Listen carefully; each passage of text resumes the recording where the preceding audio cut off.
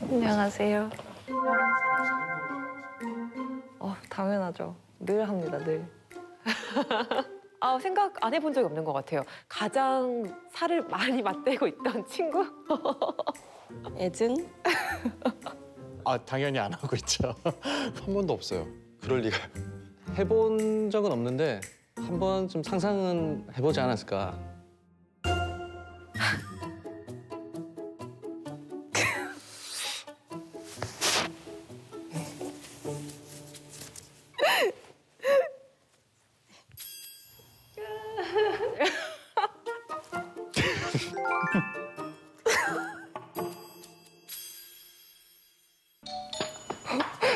뭐예요, 이게? 어, 엄청 많네. 이, 이, 이, 이 뭔가 이게. 예. 제 세상 거 다인 것 같은데, 지금. 봐도 돼요? 제가 하는 종류는 이렇게 적당히 캡도 있으면서 와이어 있고 이렇게 딱 잡아주는 그래도 뭔가 약간 이게 좀 이렇게 프레임이라고 해야 되나? 좀 요게 안에 이렇게 형성이 좀 돼 있어가지고 느낌은 뭐 나쁘지 않습니다. 소화 불량의 주 원인. 제가 이런 거 입다가 맨날 체해가지고 근데 요즘은 이런 거를 좀 많이 입어요. 와이어가 없어서 여기가 덜 막힌다고 해야 되나? 또 보기에도 예뻐요. 오, 저 이거 좀 탐나는데요? 이건 좀 본 것 같아요. 할머니 집에서. 할머니들이 보통 이런 걸 많이 입으시는 것 같아요. 마리 앙뚜아네트나 그런 분들이 좀 착용하셨던 것 같은데 이게 약간 네. 아이고 까, 깜짝이야. 이거 누브라라고 하는 건데 어깨가 보이는 옷을 입는다던가 끝에가 보이면 안 되니까? 이걸 아마 이렇게 이렇게 하면 오 접착력이 상당한데 근데. 네. 방향이 어떻게 되는? 그냥 기분 낼 때? 예쁜 거 보면 기분 좋으니까 혼자 신나고 싶을 때?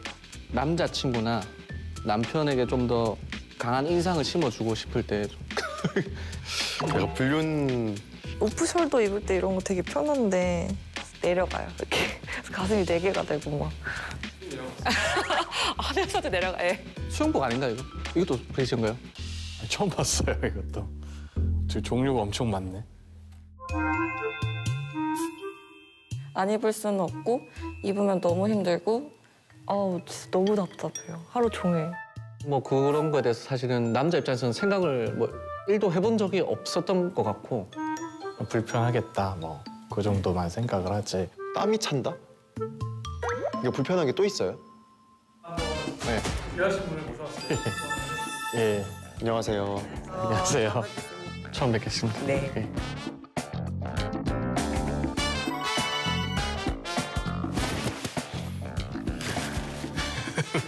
뭐 맞춤 정장 할 때도 비슷하긴 한데 여기까지.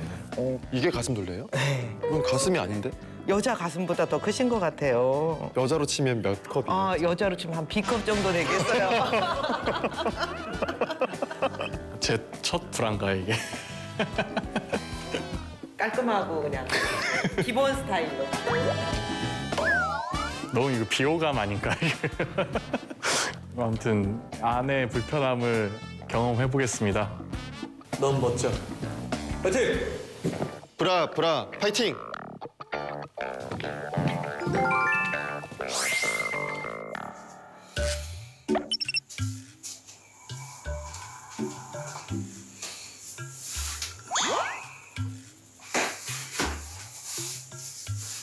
예, 지금은 출근을 위해서 씻으려고 하는데 확실히 자, 자고 나서 일어나니까 몸에 이렇게 자국이 막 남아있어요. 굉장히 압박이 심해가지고 한번 차봐. 천천히 해봐. 천천히. 이거를 앞에 끼겨야겠지? 잘하네. 전 세계 여자였나? 스카이다이빙 하러 가는 것 같아. 이거 처음에 어떻게 어떻게 잠깐만 이게 위아래가 헷갈려가지고.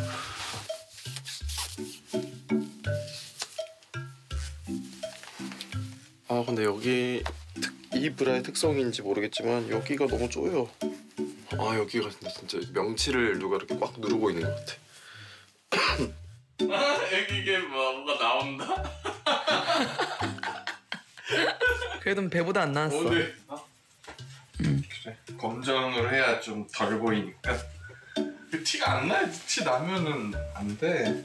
항상 속옷에 제약들이 좀 생겨요. 너무 화려해도 안 되고 저는 가급적 그래서 그냥 베이지 색깔이 많은 게 티가 나면 안 되니까 그래죠. 들이 이제 뭐 붓기 빼주는 차, 그죠?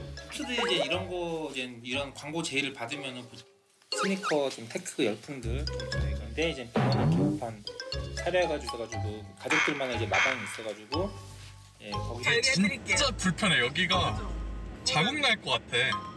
불편하다는 거를 알고만 있는 거랑 직접 해보는 거랑은. 일단 제일 첫 번째로 소화가 안 돼요. 이게 계속 쪼이고 있으니까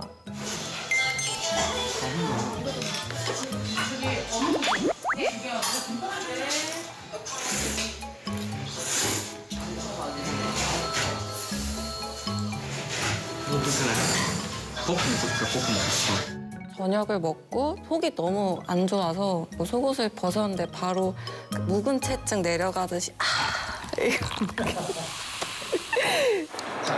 사진 현장에 담긴 이슈를 짚어보여주십니다. 아 지난 12일 자 오후 평소에 돈을 홀라당 홀라당 쓰는 김정현 아나운서가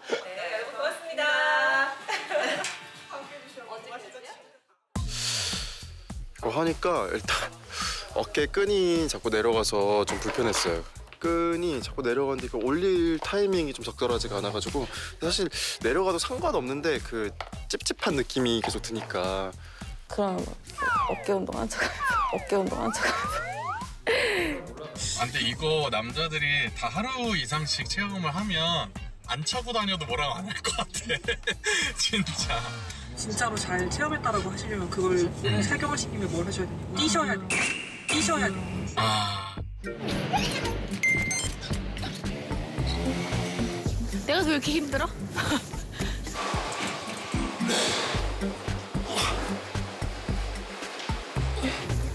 떨어진다.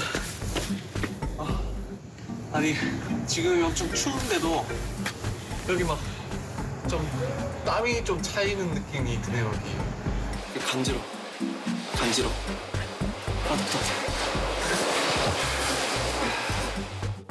혹시 막 여기 겨드랑이에서 이제 여기 사이로 땀 흐르는 느낌 느껴보셨어요?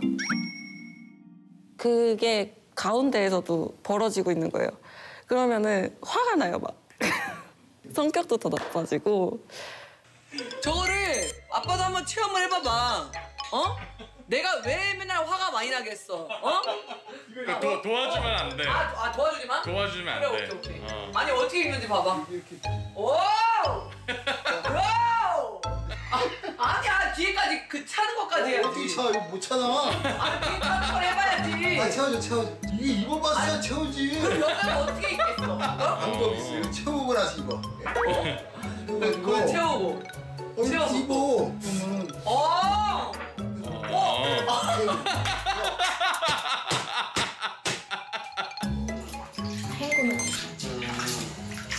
그러면 그냥 세탁기에 빨면 안 되는 이유가 있나?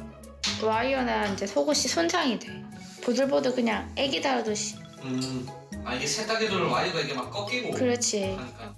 좀 오래 입다 보면 와이어가 튀어나와요. 그래서 살을 찌르고 좀 아프거든요. 그때 진짜 이 찔려본 고통은 정말 정말 철사로 제 몸을 찌르는 거예요. 와 진짜 이게 하루 종일 어. 소화도 안 되고 어 지금 몇 시간째 이러고 있는 거야 지금? 새벽까지. 여자로 태어나면 노바라 할것 같아 여기 옆에 어디?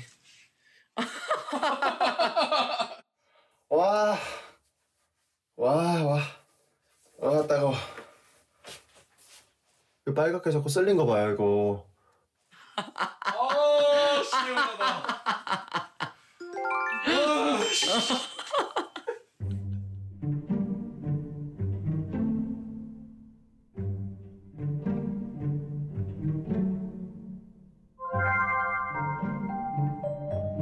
어릴 때부터 그냥 그런 말이 많았으니까 뭐 브래지어 안 하면 가슴 처져.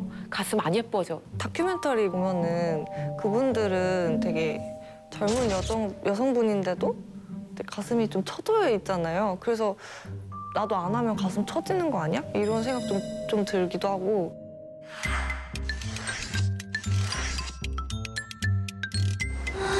예뻐지고 있다. 가슴이 예뻐지고 있다. 비누스 메모리 브라.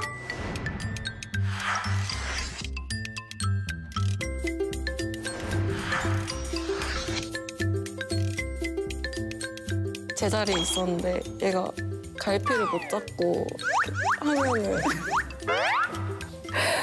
결론적으로 말씀드리면은 브레이저와 가슴 처짐은 관계가 없습니다. 유방을 잡아주는 여러 근육들은 앞가슴에 있는 근육이라든가 또는 등쪽 근육, 어깨 근육 등이 관계가 있겠는데요.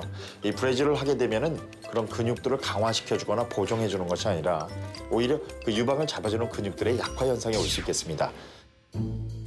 유방은 2번에서 6번 갈비뼈 사이에 있습니다.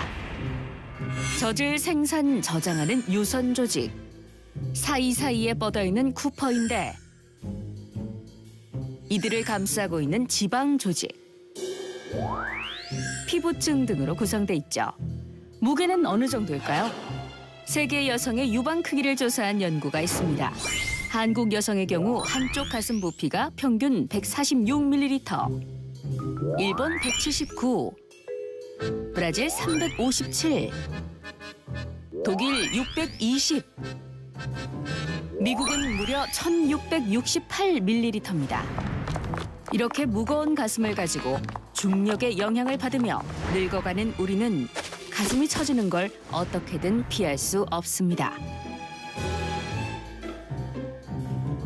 처짐을 유발하는 원인은요 크게 세 가지인데 노화, 출산과 수유, 체중 감소 그 중에서 노화와 출산, 수유는 사실상 막을 수 없는 것들이고요. 유방의 모양을 지탱해 주는 건 바로 이 쿠퍼인대입니다. 한 번 다치면 회복이 어렵죠. 임신을 하게 되면 유선 조직이 급격히 팽창합니다. 쿠퍼인대도 자연히 늘어나죠. 출산 후 유방은 작아지지만 인대는 탄성을 잃고 가슴은 처지고 맙니다. 통증을 느낄 만큼 가슴이 많이 흔들릴 때도 인대는 쉽게 손상됩니다.